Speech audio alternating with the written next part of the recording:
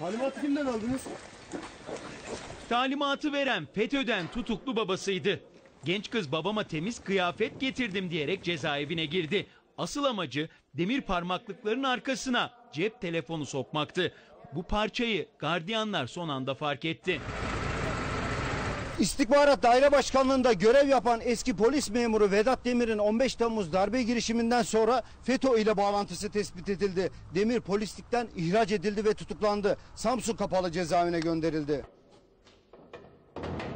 FETÖ'cü eski istihbaratçıyı kızı cezaevinde ziyarete geldi. Elinde bir kıyafet çantası da vardı. Babasına temiz kıyafet getirdiğini söyledi. FETÖ'cünün genç kızı o kıyafetlerin arasındaki bir cekete cep telefonu parçası saklamıştı. Çünkü içeriye çalışan bir cep telefonu sokulması imkansızdı. FETÖ'cü hain babası parçaları aldıktan sonra cezaevinde kendisine cep telefonu toplayacaktı. Cezaevine sokulması istenilen parça görmüş olduğumuz bu parçadır. Sokmaya çalıştığı ilk parçada en önemli parçalardan biriydi.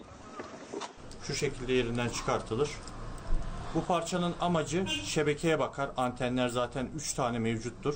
Titreşim motoru titreşime bakar ve sesin karşıya gitmesini sağlayan parçadır. Gardiyanlar yaptıkları aramada ceketin cebindeki cep telefonu parçasını buldu. Darbeci eski polis memurunun kızını gözaltına aldı.